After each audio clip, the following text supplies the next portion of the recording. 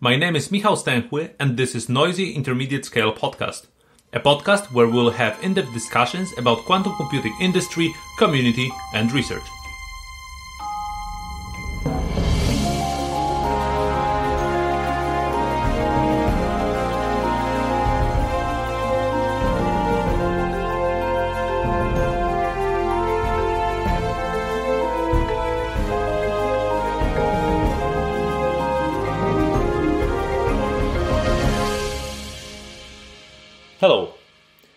Episode, I talked with Razieh Annabestani. She is one of the few people in the quantum world who have experience working in academia, industry, and government. We talked about quantum computing ecosystem, differences between various sectors, and the position of Canada in the quantum world. Before we start, I wanted to give you a little bit more context on the timeline for this episode. So we first talked with Razieh about the recording together in April. She joined Zapata in June, and we talked two or three weeks after that. Then a lot of things happened in my life, and here I am in the middle of October recording this introduction. I apologize for this break, and I hope I'll be able to get into a more regular recording schedule soon. I plan to talk with some really interesting guests, so if you don't want to miss that, please subscribe to the podcast. Okay, let's get to the show now. I hope you'll enjoy listening to this conversation. Hello, today I'm talking with Razieh Annabestani. Razieh got her master in physics from Sharif University of Technology in Tehran and PhD from University of Waterloo, and later has been a postdoc at Institute for Quantum Computing at Waterloo.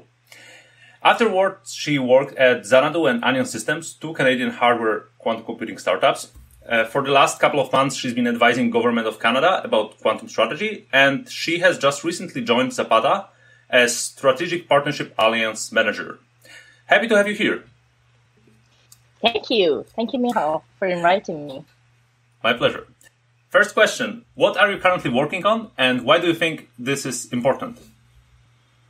Okay, I joined Zapata just three weeks ago, so I don't have much experience yet to explain about what I'm doing, but I can't tell you what I'm hoping to do. Sure. um, Zapata is a software company and they are providing quantum solutions for the frontline customers. So, as you know, quantum computing is promised to revolutionize different industries, and Zapata is providing platform that can integrate quantum solutions to the existing uh, pipeline of mm, different industries. Now, me as a manager for partnership, my role is more. Um, so, so we have three big players in this um, chain. We have the frontline customers, which is like air industry, automobile, or different people who have a complex computational problem. We have the software providers like Zapata, and at the end of the day, these softwares and algorithm must be run on a quantum platform. And the task of me as a partnership manager is to make that connection between the hardware vendors and software company like us and trying to come up with uh, solutions that how we can early enough integrate the um, the quantum algorithm that Zapata is developing um, in the sense that it's compatible with their hardware as well. So yeah, it, it's not just me alone; it's a team, sure. and I would be more on the business side but I'm collaborating with the technical team as well. Sure thing. And so, one question that um, comes to my mind, I would say quite often, is why hardware vendors cannot build the whole software stack themselves? Well, it's not about they cannot. It's not about they cannot. It's it's more about like you can think about like the automobile industry mm-hmm. you can say like Tesla, um, it has within like if you consider the whole chain of pipe um, the, the, supply chain, um, for for for building a car, you definitely need material. You need you mm-hmm. need designers. You need like uh, people who can like create that network of business and link the factory to the customers. Yeah, you can build an empire that you do everything by yourself, but why you want to do that? So what, what's the motivation for it? If you can have an independent entity whose entire goal is to just focus on the material and then you can be completely focused on the design of, of the car, why wouldn't you that? Because this way you will have a more um, a higher value product at the end of the day. I think this is the same with the quantum industry as well. So the the the building the hardware itself is such a complex task, and that itself is an empire that needs its own um, company. And I think it would be, especially at this early age, that um, I would say all of these quantum companies are a startup, even those big, gigantic mm-hmm. players mm-hmm. like Google and IBM. The division that is working on quantum is new. Everything is new. Nothing has been experienced in the past.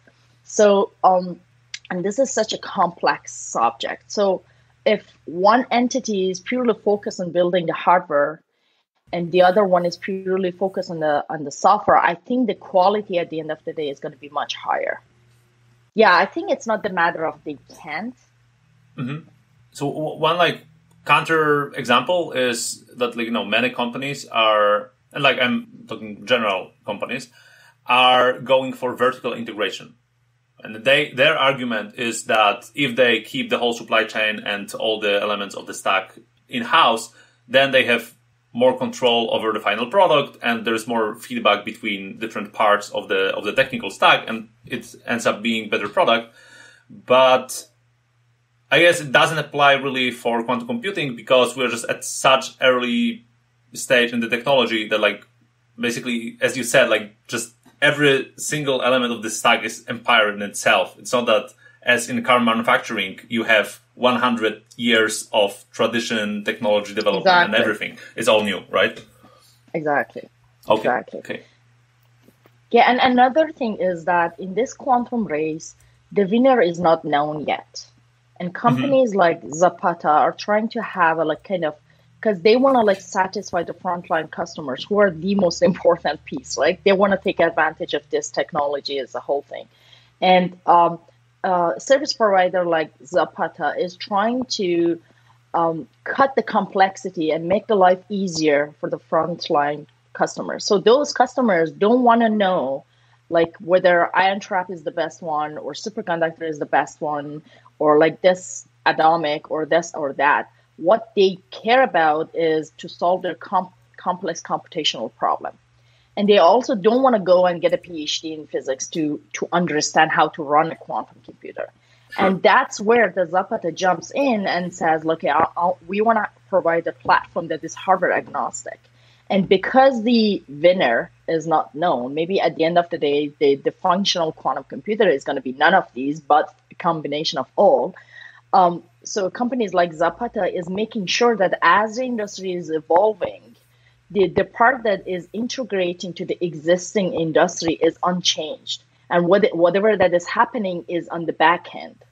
And Zapata would make sure that as the back end providers are um, evolving and adapting and uh, finding new solutions, Zapata constantly changes this like uh, little steps of integration to make sure that the front line is unchanged. So mm-hmm. I think that's very crucial in our industry. I see. So, so you mentioned a couple of actors here or like interested parties. So, frontline customers, basically people, companies that will end up using the, the technology, software integrators like Zapata, hardware providers. But looking more broadly at, at the whole quantum computing ecosystem, uh, I'm curious, like, what's your view about what are some other parties involved that make it all work? So definitely, there are so many stakeholders that is shaping the ecosystem. Mm-hmm.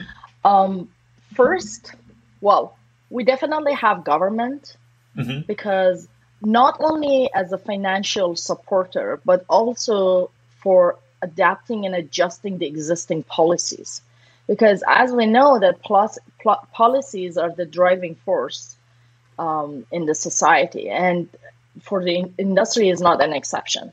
So if um, even for trading for contracting making regulation making sure that things are following some basic standards so government is play, playing a crucial role here. Mm-hmm. the second important entity is academic community. Sure Uh, because at the end of the day, these sophisticated technologies are born at universities, right?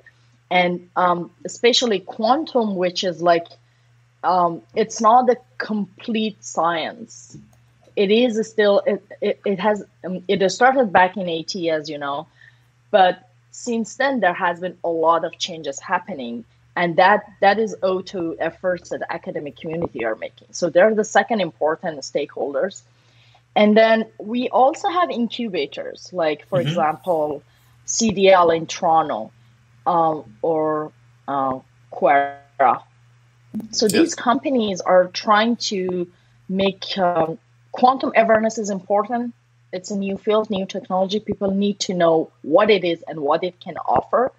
And uh, there's also so many resources from the financial, from educational, from the equipment, and like um, so hardware hardware providers they, themselves they need they need they have some supplier as well.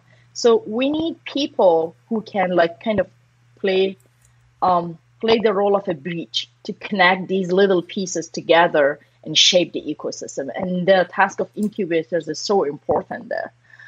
Um, yeah, and then the the last category is the industrial partners where itself can be brought to three different pieces like software provider hardware and also uh, the frontline users. Because right now for quantum the users are not just users. They're also a full of the whole cycle.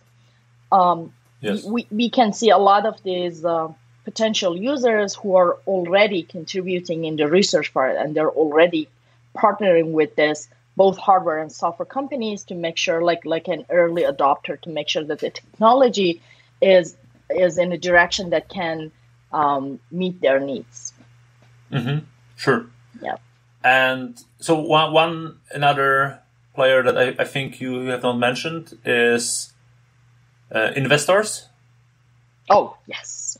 Definitely That's but it. investors, like mm-hmm. investors, could be any of these stakeholders. Oh, that's true. Yeah, yeah, yeah that definitely. Yeah. definitely. I think we've seen a lot of companies that invested in quantum computing startups that are also industry players and they have established exactly. business and and so on. Exactly. Okay. I, I, think it's not rigorous taxonomy, and uh, we could probably divide all of that into even even more granular entities, and we, we can also think about many many others. But I wanted to ask you about open source developers, and I, I was curious, like, how do you see this? Do you see open source contributors, organizations that try to you know push open source software for quantum computing as particularly important in one way or another, or you know just something regular that is happening everywhere in technology and like all the technologies are using open source, so it's nothing special here.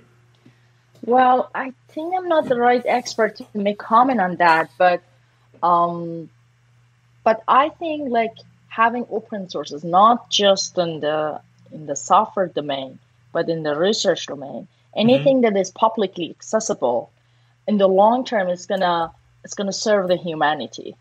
Um, because yes. if if you want to live in an isolated uh, world and not exchanging information with others, yeah, you may think that you're protecting your IP and you're you are like kind of making sure that uh, you're cutting off your competitors. But at the same time, when you're open to the world, then um, then you you can get feedback and you can get help from all of them. So it's a two way communication, and sometimes uh, the benefit you get is more than the benefit you give people because you have a million people helping you and you're helping one at a time.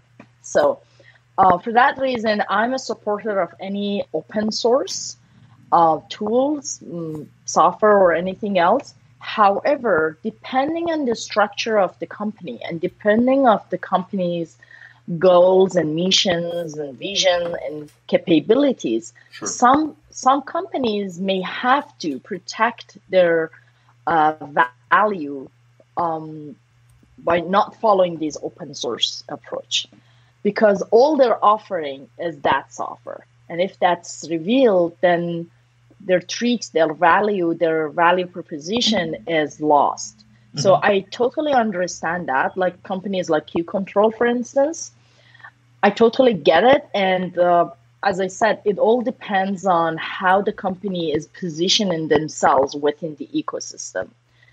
Uh, but in the long term, in the long term, um, even those companies, when they are um, uh, big enough and when the industry is mature enough and when this cycle of revenue is like uh, going on uh, effortless, at that time, I think they can go open as well, like what Google or Microsoft is doing. And also, if you have, there are some capabilities that are not replicable. Mm-hmm. Like you can find Google's codes if you want to, but you don't have their talent, you don't have their structure, you don't have their managing system. So even if you have access to their code, you can be the second Google. So I think that's the way that is a smart business. That mm-hmm. at the same time that you're helping the community and they are helping you to grow, you are protecting your competitive position within the industry. Yeah, definitely, definitely makes sense. Okay, so looking at this from maybe uh, yet another angle, so do you think is any of these players currently underappreciated or undervalued or maybe on the other hand you know there's like too much focus in the community um, or public discourse on one player versus versus another and like by, by, player i mean i don't know maybe people are downplaying the role of the government in, in all that or maybe they're overestimating certain startups or i don't know do, do you have any, any observations like this well i don't have clear answer to that question, but I can answer something else that may mm-hmm. may be implicitly related to what you're you're saying. I can tell you what I feel is missing mm-hmm. for for this movement. Um, first of all, like I think there is a kind of mismatch in the pace of growth mm-hmm. between the software and hardware providers. And there's a reason behind that. For the software, as we know today, everything is automated. Everything is, uh, is we have numerous apps out there. And we have so many software engineers and computer scientists that they can quickly develop new uh, platforms, right? Mm-hmm. And also for, for the software company, in terms of like capital investment that they need to do, because the hardware is not involved, is much cheaper relatively. Yes. It's the salary of your people, it's the space, but it's much cheaper. And so building a software company, the barrier of entry is lower compared mm-hmm. to the hardware providers. And we, we have so many talent already exist. And if you want to build a quantum algorithm, you don't have to be like a deep physicist. You you you need more mathematics and computer science than than physics you can you can hire these talent that exist everywhere and teach them a little bit of quantum and they can be very productive and valuable for the mm-hmm. company mm-hmm. so the talent exists the pool of talent exists and the the capital investment is, is relatively lower so therefore i see the software companies are moving in a, in a faster pace but when it comes to the hardware because this is a special hardware the train the right trained people for that does not exist that much. We have physicists who know a little bit of engineer just by experience, by being in the lab at, yes. at their academic institutions. And we have some engineers who are worked, I don't know, in different telecommunication, different industries perhaps, but they, they don't know physics. So now these two need to blend together in order to build the hardware. So I think the pool of talent, the right trained people who can sit there right at the middle between engineering and physics, we don't have many. So there is a lack of talent. And in terms of capital investment, definitely it's an expensive technology and you need the patient investors, mm-hmm. investors who are not looking for return within the next five years.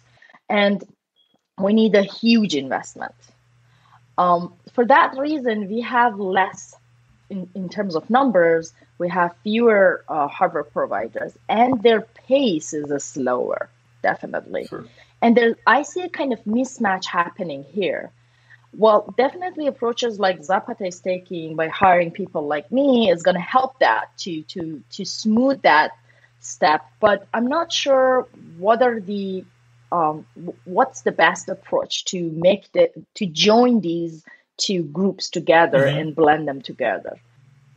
I wanted to ask about this this first problem, so like the mismatch between hardware and software, because this is something I definitely see from my experience. So being quantum software engineer, I, I definitely focus way more on, on software. And also in helping people learn quantum computing, it's also way easier for me to like introduce people to software. And there are multiple reasons for that. So the first is just software is more available than hardware for pretty obvious reasons. And if for example, like from the career perspective, if you want to get a job in quantum computing and you don't necessarily want to move across the world, well, if you are working on hardware, you need to work in the lab. If you work on the software, you can work from, you know, more or less any yeah. place in the world. And I think this is also, also a big, big problem. But I'm curious whether you have, um, when it comes to like education and training, and like I, I myself have, have, mostly in mind programs like the, the mentorship program that we're running at Quantum Open Source Foundation or some other you know initiatives like this.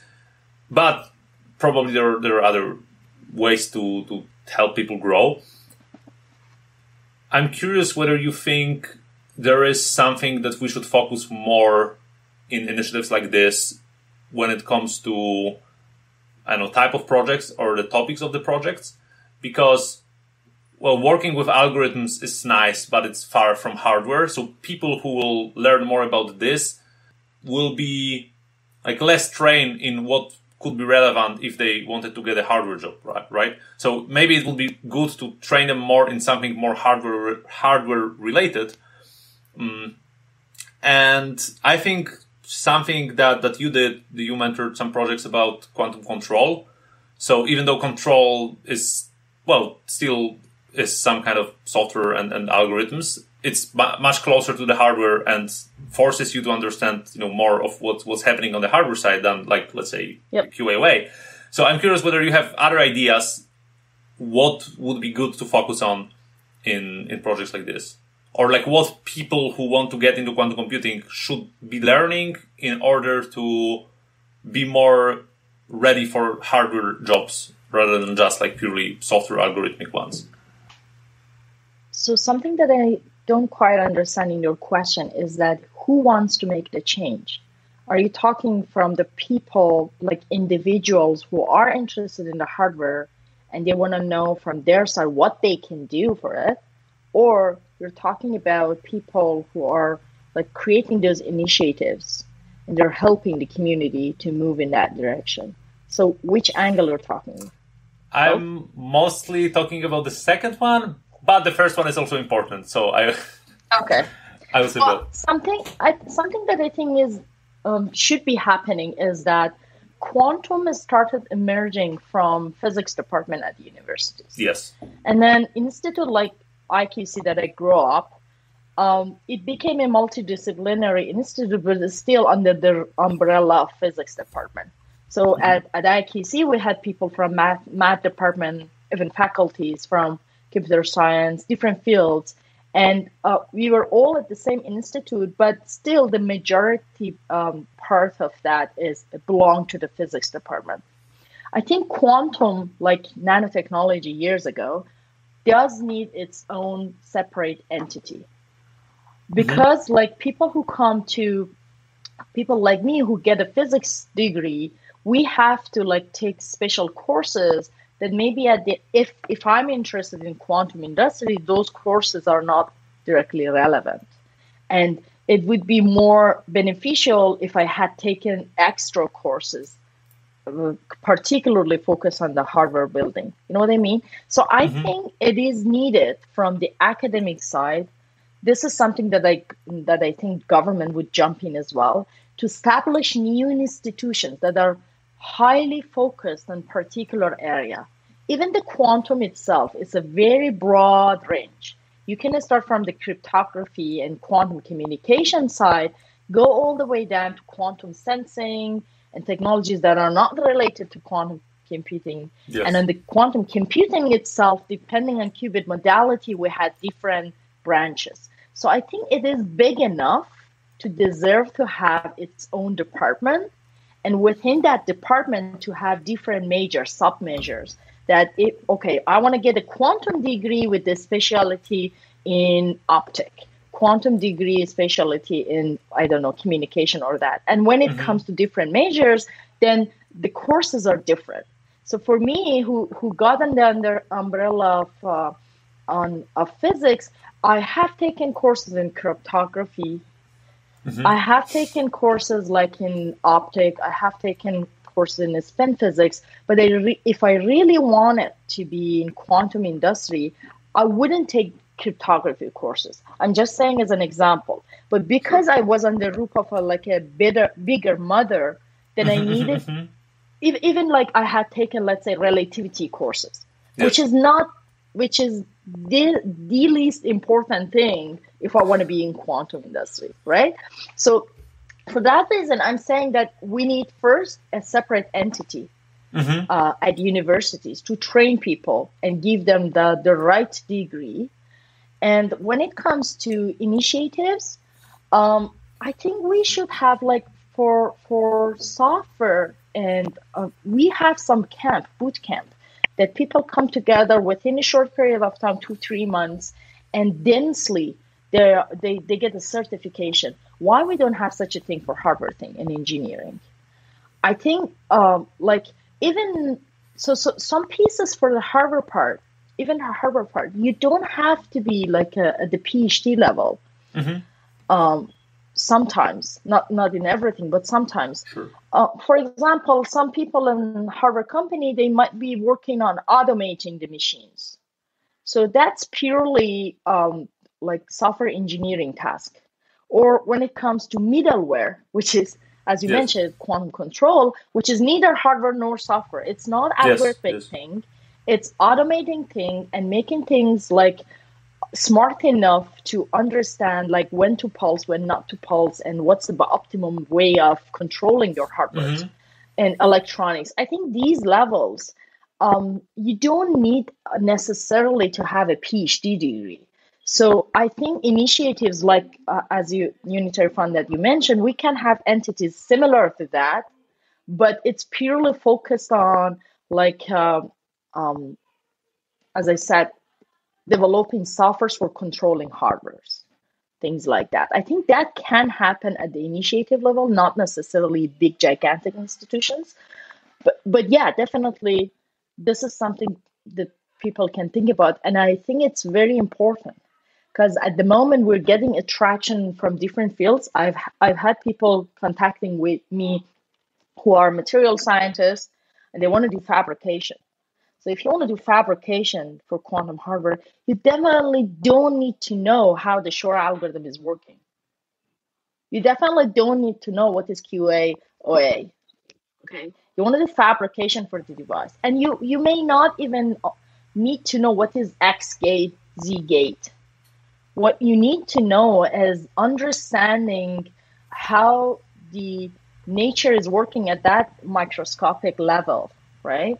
And mm-hmm. also the fabrication techniques. I think these people, these are these are the people that quantum industry can attract from existing pool of other industries. But they see such a like kind of big barrier that whoa, this is quantum. I know nothing about quantum. Am I useful? Yeah, absolutely, you're useful. Yeah. if you see where you need to sit down. So yeah. we, we also need to have like kind of educational thing mm-hmm. to let people know how this gigantic network from um, from the fabrication piece to the electronic control to the uh, to the low temperature piece how these little pieces are together and um, and working together then people can see oh that's the area that i can make a role uh, that i can make a contribution mm-hmm. So that's from the individual angle. So I think awareness is, is also another thing that we can work on it as a community. That's a very good, very good point. I think like we as I'm just that's like for, for myself like looking from the from the algorithm perspective, I I don't think we have good model like as a, as a community like good mental model of how all those parts are you know connected and what what are different things in the algorithms that make things work like every single person has some idea in their head but it, it's not like it's when it comes to more general awareness like like what do you say which is coming from fabrication to basically application like industry application like the whole range application. i think yeah it's even application to application I see. Oh, oh, I now I see. Yeah, like we should we should probably make you know a rap song about this, and then like it will all just fall into pieces. Fall exactly. I love this. Um, oh, oh yeah. Oh my god, this will be this such a cool project. Oh. Okay. So the thing I wanted to ask you about is how do you think important it is to give people remote access to hardware so that basically everyone around the world can access hardware computer hardware computer come on like quantum computer uh, via some some cloud interface. And what so i see now that yeah this is important because this gives people kind of better idea of how hardware works and uh, gives them like allows them to to actually play more like closer to the hardware rather than you know just uh, with, with the simulators.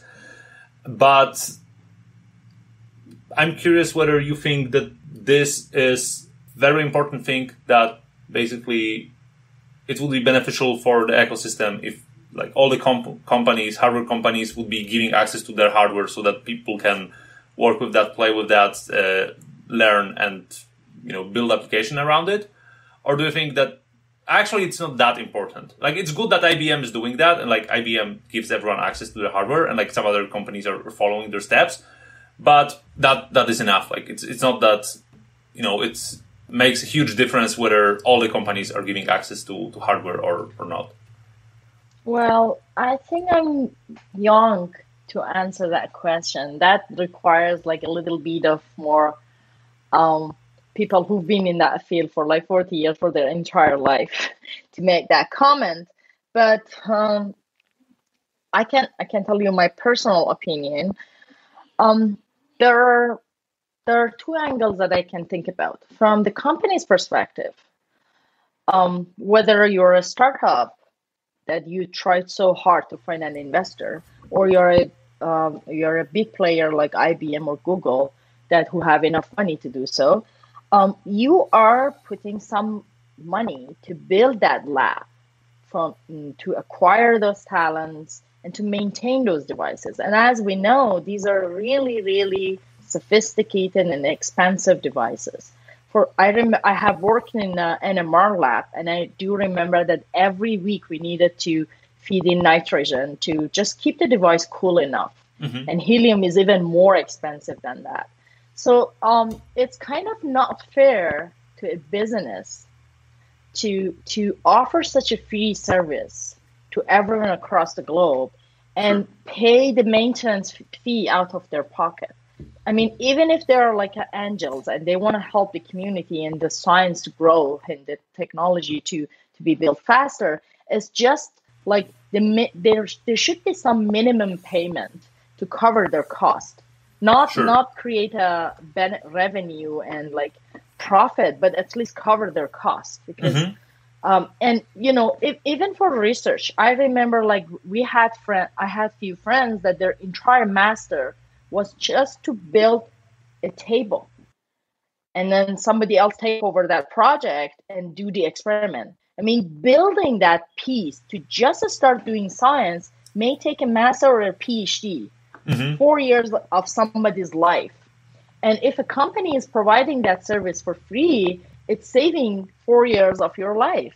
And, you know, you, you might be a physics that you were interested in doing the experiment, but you you were not lucky. You found a very fresh professor who just started building their lab, and you end up like your entire grad school is just preparing that lab and never do physics with that. So that's not fair because they are they're creating a tremendous value mm-hmm. for those users. And I think those users might pay for that, be willing mm-hmm. to pay for that. But on the other side, these devices often are crappy. Oh yes. so you don't want to. You don't want to. Like I, I've I watched a video actually a few days ago that somebody was doing a test to benchmark IonQ device versus IBM in terms of the connectivity. So that person had to. IonQ was charging, IBM was was free. Had to pay to just see like to make a decision which one of these devices I can trust and use for my purposes. And he had to run only one simple example to just look at the diagram, look at their errors to see, to compare them, right? So it's not fair as a customer that they pay in order to find out whether your crappy device is what you promise it is or not. It's like it's like selling a black box to somebody and saying like this is a magic box, but if you want to know that what this magic box can do for you, pay me a billion dollar 1st mm-hmm. So so they need to know what they're buying. So for that reason, there should be at least I don't know even even a hardware that you're buying for the lab, it has a like kind of um, characteristic um, um, lab book that you can look and see how this um, this little tool is functioning uh, what's the what is it called? Response function of that. I, I forgot the name but uh, even for electronic component anything that you buy it comes with a with a notebook that tells you okay we've tested and these are the testing results it tells you like these are the area these are the frequency domain that is functioning very well. This is not and this is the proof. So then you know like even though they're manufacturing and they're building those hardware but still there's some it's nature. You can't guarantee everything 100% but you know that they've tested and th- this is the test that you have.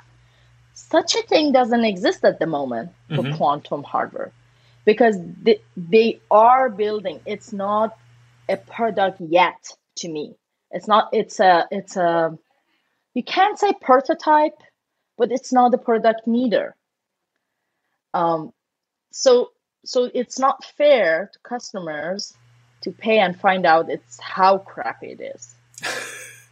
so so I don't know what the solution is. I see. I think there should be some minimum charge because they are cutting uh, the time for for researcher mm-hmm. three years, four years time, and they are paying for maintaining those devices but the charging shouldn't be like something that they have a product because they don't sure yet. sure. So. Yeah i think uh, one model that might be reasonable is something that d-wave did which is that i think they give you like some like a little bit of time on their devices for free. And it's like i don't remember it's like really like one second per month or, something like that. So that like this is enough to test. If you want to do anything more than just like run some simple tests, then you need to pay for that. So this might well, model, I think but... that's not fair, fair mm-hmm. either mm-hmm. because you know as as we know, research is not going to happen overnight.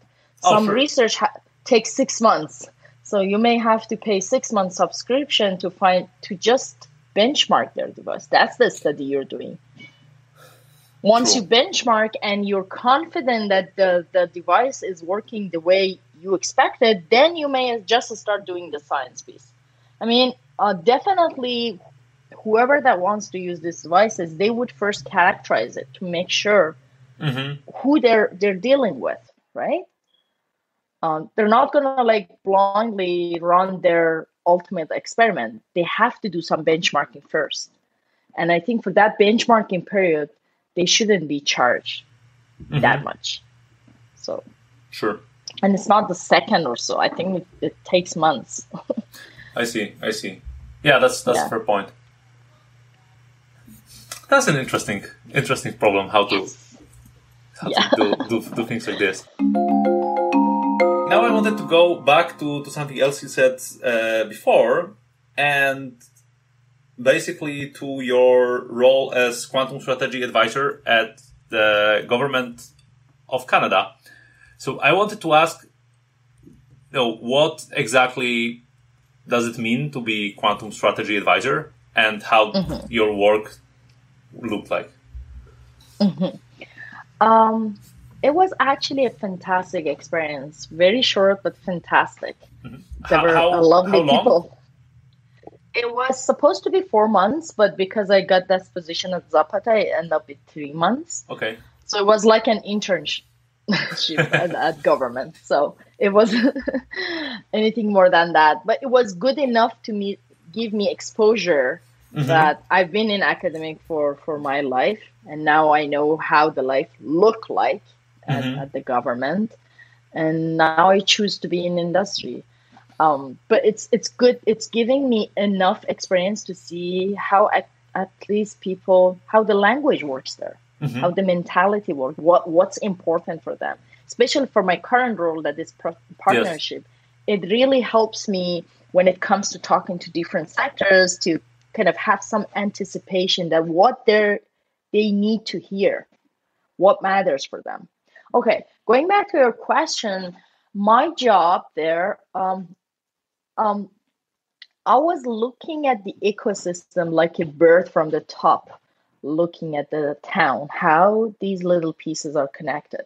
I was doing like basically um, there were there were certain sci- certain devices that they need certain technology that government needed and i needed to know like how these proposals of different um, research in the quantum domain is gonna like at the end of the day benefit uh, benefit government that's from the angle of government being the customer they they needed to know that which one of these technology would worth investment early enough that was one part of my job. Another part was like I was looking to see um, these different stakeholders, as I said, incubators, mm-hmm. different governmental department, even governmental department. It was like it has so many numerous branches from the policy side to defense to um, security to public health service. Um, so these governmental department um, in one category incubators in the other, foreign um, international partners that we may have, both from the strategic and political uh, bond, bonding and also from the technological aspects and also industrial partners. So I've been looking at all of these stakeholders. What are the existing relationship between them and how we can shape and engineer mm-hmm. their relationship to move in a direction that we desire, basically. Well, um, to me, it was like another physics problem. a physics problem that I have like electrons, nuclear, different particles. First, you need to understand how nature behaves. First, you need to know what's the natural Hamiltonian. What's once you know how it behaves, then you say, okay, if I interfere with this ecosystem, if mm-hmm. I introduce laser, if I introduce magnetic field, then that interaction is going to move in this direction. The dynamic is going to change. Mm-hmm. So that's the way we actually design um, devices, right? Even from the, I, I'm going from one topic to another, but even for like sending the rocket to the moon, you first needed to admit that the gravity exists and then understand how the gravity works how the planets are uh, sure. moving together. And then once you understood it very well, then you could introduce extra elements to dominate this nature and mm-hmm. send the rocket to the moon, right?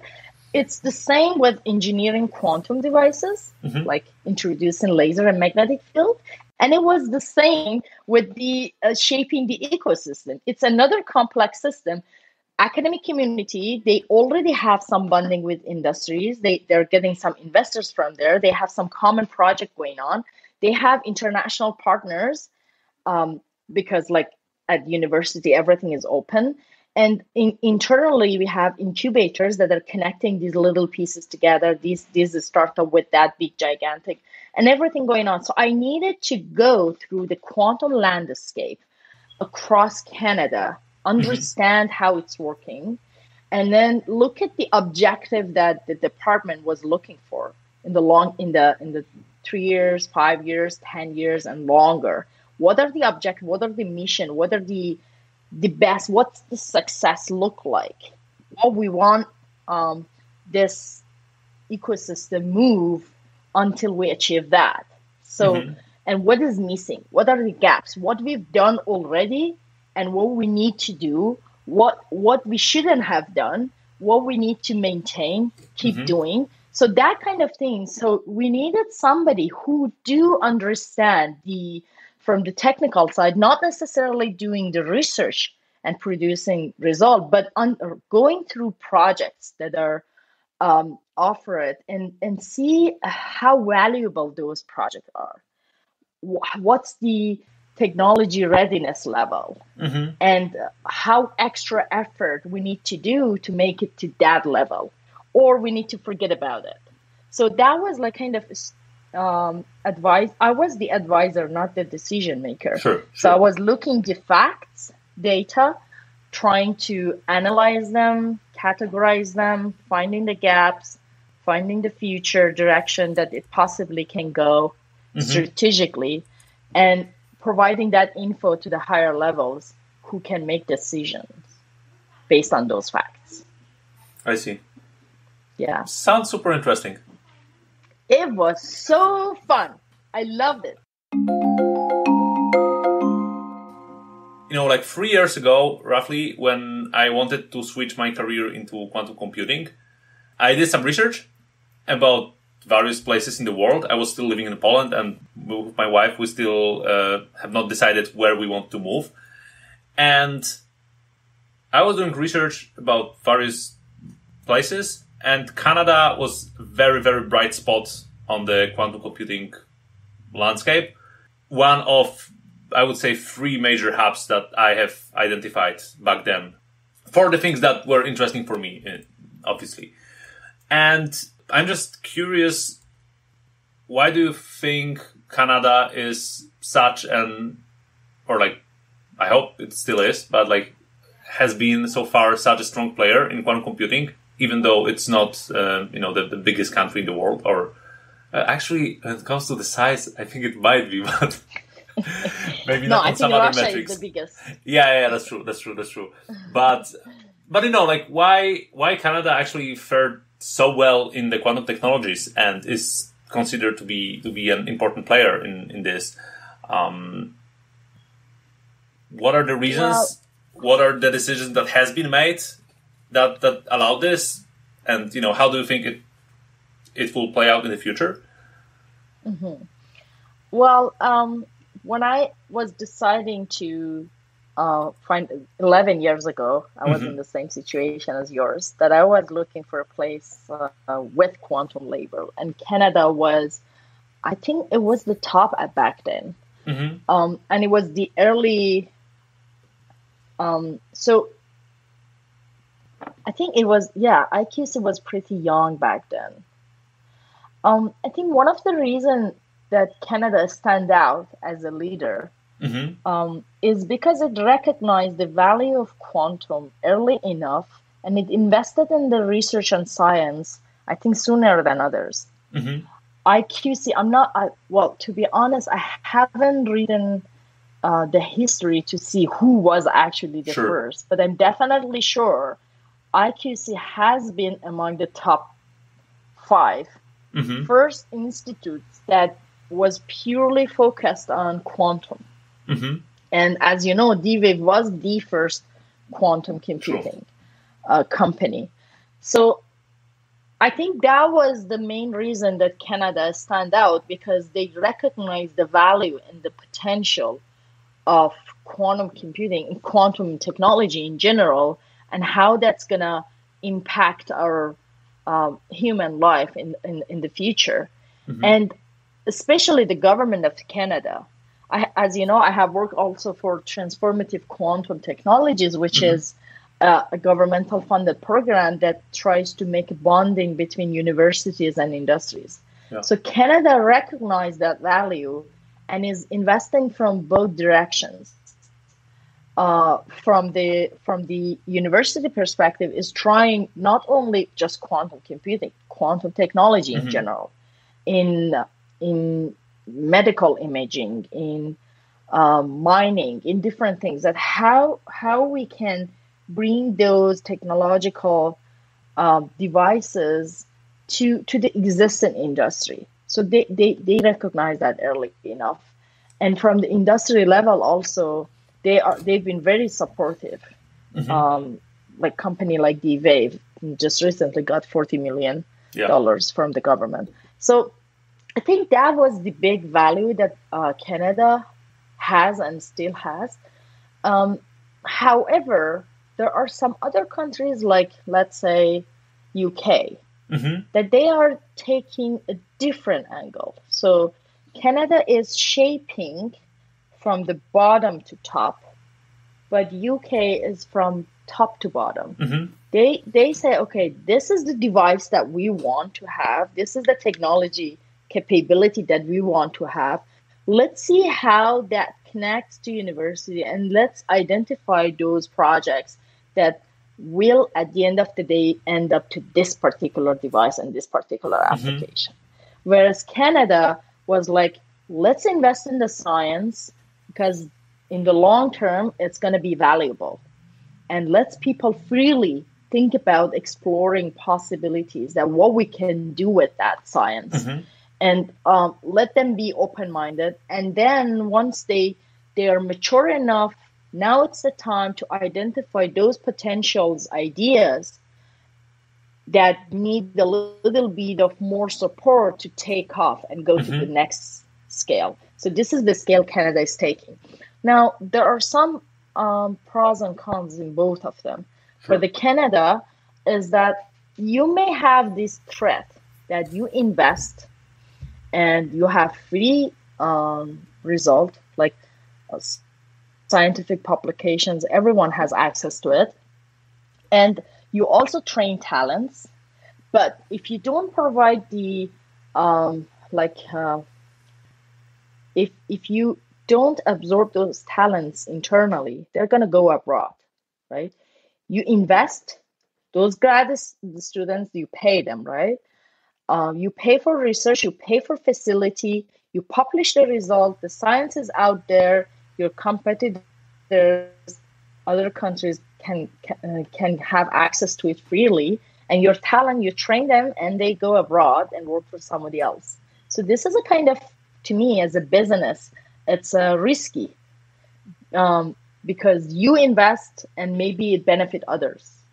Mm-hmm. But the, the the good thing about it is that you create opportunity and you let people to freely grow and normally, like if you want to be uh, creative and invent something, it's better to be under no pressure.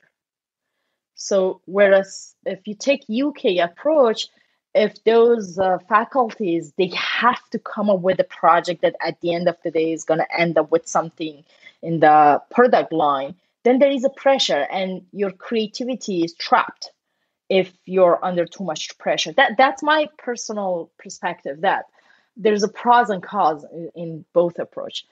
And uh, going back to your question, I think Canada did very well at initiating and taking off this quantum, and I think a lot of other countries have been inspired already by mm-hmm. Canada. Uh, but at the moment that this movement is becoming kind of globally, Europe has come in, mm-hmm. US, China, Russia, everyone is, is coming in. If, if Canada wants to uh, safeguard the, the leadership that it has, it's, it's better to change the approach a little bit mm-hmm. and be more like technology oriented rather than science oriented. Sure. Um, yeah. Yeah, very interesting perspective. Thank you. so, one of the things that I trying to mm, okay, asking this question to just like make sure I understand kind of how this how this works. So basically, one of the strengths of Canada was that it started very early, so it it could afford to spend more time for this free search and Yeah. you know It was free patient, exploration yeah. because it was patient and it started very early. And in an example that you gave, like UK, well, UK could replicate that, but since it is like 10 years behind Canada in the terms of when it started, then, well, it's like very different competitive landscape between countries and what they want to achieve. Yes. So, well, the, this, this other model suits it better, right? Yeah, yeah. I think the the strength that Canada has was that it was the pioneer, and it mm-hmm. is still the pioneer in this field. And if you want to keep that position, then I think the approach should change a little bit. I see. I see. Yeah. Okay, so last question from from this like uh, government related. I was wondering what's the because you worked both like in academia, in the industry, and the government, and I know what's like the the biggest difference in the mindsets between these three environments. I assume there's like plenty of things that are very different. Yeah. Well, my answer will not be completely neutral. Mhm. My analysis would have a little bit of bias towards my personal preference. Sure thing. So, I mean, if you want to have a purely neutral opinion, then uh, you should put aside your personal um, preference. Just, just to admit that. Well, um, academic. The positive thing is that um, first of all, you have that freedom of mind. Um, that you can explore opinions, different ideas.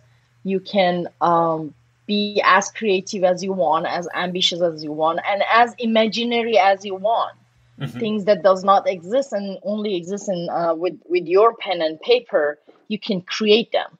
So, in terms of the power that you feel, you are the power of you are the creator of your science, and, and that kind of has a has a feeling of satisfactory that you can do whatever that your mind wants. That that in that sense it's similar to art um, that you create your own world. But what i was missing at the academic was that i initially started uh, physics with the with the with the attitude of science for science. And over years i think that has changed in academic culture. It used to be like that. I don't know when exactly but maybe in 19th century. Um, but it has changed a little bit. And i think that's mainly because uh, a large portion of um, if, if academic people wants to survive it largely depends on whether they can secure a grant or not and if mm-hmm. you want to secure a grant you definitely need to show your research is going to make a change in real life mm-hmm. right? And for that reason some areas of research they attracted more attention than they should because they found their way of showing relevance to real life right? And that that's why they can secure grants easily and sometimes um so so i've seen between some people that they just look at the problem with the label of is it publishable? So publication has become the product. And if you don't uh, publish or perish i think that's that's Yeah, the phrase yeah. they use. Um, so it has become i think that i don't like that piece of academy and actually that's why i escaped it Mm-hmm. because i want to be scientist and i want to like be as critical as possible. And as free as possible. When you have that pressure that if i don't have two three publication per year then you rather choose you you purposely choose those projects that first you can get a grant for it and second is publishable within the next four or five months. So that has become like you need to brand yourself and the way that you can advertise yourself is the number of the projects that you have and for the professors for the professors, especially young professors, um, what happens is that um, you started with the with the with the motivation and passion for science, but for early years of your career, seventy percent, eighty percent of your life is not research. And also, professors are actually kind of manager, but they're not trained for it. Mm-hmm. So we see a lot of smart profs. They're super talented, super smart, but they have zero knowledge in management and they don't use the talent of their students or postdocs in the most efficient way. They mm-hmm. actually waste them sometimes. Yeah. So I think this is missing in academic that if they want to become a faculty, they are ahead of a kind of a startup. They need to learn how to manage the money, how to make that relationship with others and network and things like that, and how to take the most um, out of their talent pool. And that is missing. And I have sympathy with them because they are mm-hmm. trained for research. They are not trained for that. And at the end, they end up with like 70% of their time is is non-science. And that disappointed me to to move in that direction. However well um, they are a great value. And if um, academic research didn't exist our technology didn't exist. That that's my personal opinion. For the government um, government was a great experience that i covered already. Mm-hmm. and something that I didn't like about government things were very slow. Mm-hmm. so being in a startup, especially, you you are trained to do things fast. Yeah, yeah. Fast and productive. Production fast.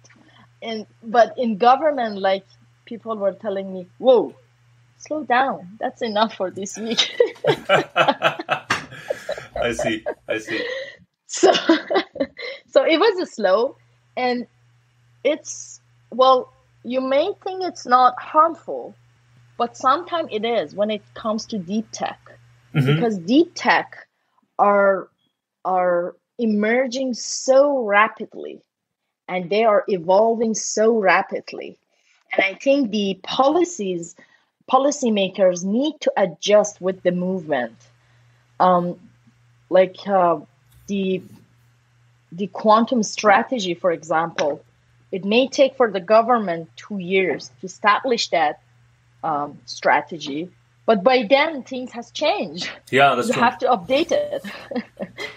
so I think that that was the missing piece in government, the mm-hmm. pace. Mm-hmm. And for industry, I love it. I can't complain about it. I can't complain about it. But let me find something to complain. Um, I think for industry there are two types one you have a corporation if you're working for a corporation the culture is established the mission mm-hmm. the vision the tools the connections everything is already established it's not yeah. a try and error they know what's best for success right however if you're a researcher in a corporation and if you're coming from the academic environment it might be a little bit hard uh, to flexibility to invent new things and change things but definitely not not as much as freedom that you have at universities mm-hmm. right for startup that's something that i love about startup because if if you ha- you can i can satisfy those um, attitude that i had as a researcher at university to explore unknown mm-hmm. and be as ambitious as you want and shape the future. So these are the things that I can satisfy myself at at um, startup. But definitely there is a some level you pay, you gain, right? You pay something, you gain something. Yeah. Uh, there is some level of stress at uh, startup because like at university if you start a project and it fails you just fail in a project Mm-hmm. You st- you're still a faculty there. Nobody is going to kick you out if your project doesn't work. But in a business, in a startup, if things fails, like it's like if it is big enough, then um, there is a the price, especially if it is a very young startup and the budget is limited. Mm-hmm. Um, it's a big lose. Yeah, it's yeah. not. Sometimes it may end up with like, you don't exist. If, mm-hmm. if, you don't succeed, you don't exist anymore, and that that has some some stress into it, and also the timeline and competition that you have with others. That competition exists in, in universities as well, but the level of the project is overall is slower than mm-hmm. startups. Sure. And uh, so, therefore, maybe you may feel that you're doing a lot of work with a squeezed, limited time. Maybe that's something I can complain. Mm-hmm. Yeah. Yeah. I, I think it boils down very much to, to personal preferences. Exactly. And probably like stages in life as well, like you know, exactly. depending what exactly. what are your goals goals at, at, at a given point. But speaking yeah. of personal preferences, um, I wanted to ask about your transition from science to more like business and management. I was curious, what was your first serious project where you focused more on the business rather than science? I think the first experience was Xanadu. Uh-huh. I'm so thankful to Xanadu because he gave uh, they gave me this opportunity um, because that was the first opportunity. I've never had such experience before, but they saw the potential in me and they gave me that opportunity. And with that experience, I realized, yes, this is where I want to head. Mm-hmm. Um, and what you were working so, on uh, there? Yeah, there I was my role was quantum application scientist. I was mm-hmm. a still scientist, uh, but I was like at the edge between the science team at Xanadu and the science team at whoever that uh, would be the potential user. At that time, Xanadu was at the very early stage, so they didn't have PennyLane mm-hmm. and they didn't have the product yet. But um, this Chris was smart enough to think about the application at the very very early stage of the company mm-hmm. so um so at that time i was like uh, basically fishing mm-hmm. i was looking into different industries in finance pharmacy um, whatever that seemed to have potential for application and i've been like first uh, i was introducing what quantum is about so part mm-hmm. of it was like kind of marketing and bringing awareness, and then uh, understanding their the complexity of their problem. So there was some level of learning into it that mm-hmm. was uh, kind of feeding my my spirit as a researcher and curiosity level. So I needed to learn about how the finance system is working. What are the uh, the typical problems that they have? Similarly for pharmacy, um, in material development. Uh, and once I learned about them and I knew what Xanadu is doing, I knew what they're doing, and I was trying to see whether with the approach that we're taking, we can offer a solution for them. That was the moment I realized like living at the edge is like I, I can explore universe. so mm-hmm. I want to be at the edge not inter- internal and not outside, just somewhere at the edge. So, so, so my role at the TQT was similar. Mm-hmm. I was exploring for there. I was the bonding between university and industry, looking for what quantum technology can do in imaging, not computing, but sensing, for example. Yeah. Um, and my role here at Zapata has a similar flavor mm-hmm. here is between software and hardware, but it's still partnership, engagement. Yeah. The yeah. two different entities. Yeah. I'm curious, what are some things that because I, I think you can enter this this kind of roles. Maybe maybe I'm wrong, but from both science background, but also maybe more from like the business background. And I'm curious, you know, what are the things that you think are most helpful for you from like the scientist mindset in, in this type of roles? And what do you think that your past as a scientist actually have not prepared you at all, and the skills that you had to learn on the job uh, to actually be mm-hmm. be effective? Mm-hmm. Um, this is hard to answer, but I think if I want to choose between being scientist then become a manager versus learning getting degree as at business or law school and then become somebody like myself, I would choose the first one mm-hmm. because you may learn management skills in business if you have some interpersonal skills and soft skills already. I think it is possible. I might be selfish though, but it is possible to learn business piece within a year or 2 mm-hmm. But coming from the other side, it's not that easy. Yeah. I have spent like uh, including the PhD, I have spent 10, 12 years doing complex stuff, calculation, mm-hmm. simulation. That's not something that you can learn with two years credits somewhere. So I think it's pretty damn hard for somebody who is a manager to learn about physics yeah. versus the other way around. And uh, there are some level of management that you implicitly learn as a PhD student. Mm-hmm. As a PhD student, you are the owner of your project. You have to uh, acquire some soft skills that you may not be even aware of, that you mm-hmm. do have them. You have to like break your complex problem, you have to break it to little pieces and then try to address them one at a time and try to consider all the possibilities that can happen for example, and make a prediction. So mm-hmm. your brain has been wired up to become a manager if you put a little bit of knowledge at the top of that. So you do have that um, um, skill already.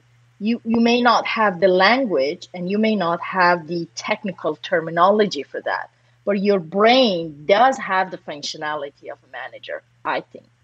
Okay, so this is not kind of naive thinking, but this is a thought that I came into my mind, which is, okay, you spent ten years training as a scientist, but you actually don't use most of what you've learned, in in the sense that you know you're not calculating any integrals at your job right now, so perhaps spending ten years is, um, you know, it's a little. I mean, not not not, not, to, not to waste, but like it's it's not needed.